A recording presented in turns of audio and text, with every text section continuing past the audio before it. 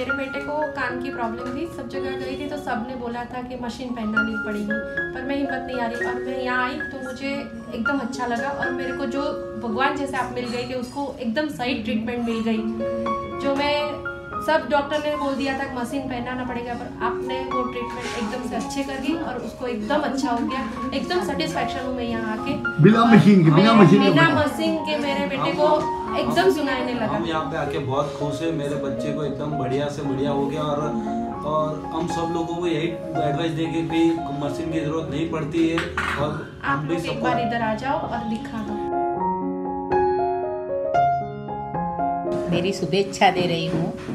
मुझे बहुत अच्छा लगा है।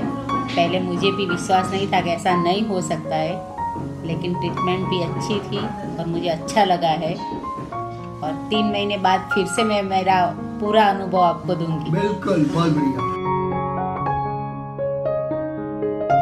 मैं वर्धमान सोनावत सूरत से आया हूँ मैं और पिछले दो ढाई महीने से मैं कान की बड़ी प्रॉब्लम से चल रहा हूँ। लगभग छः से सात डॉक्टर के यहाँ कंसल्ट कर चुका हूँ।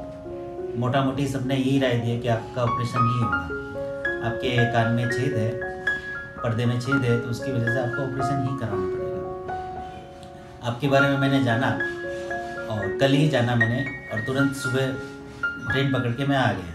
वाह। मन में एक विश्वास होता है उसी के तहत मैं तुरंत यहाँ पहुँच गया हूँ।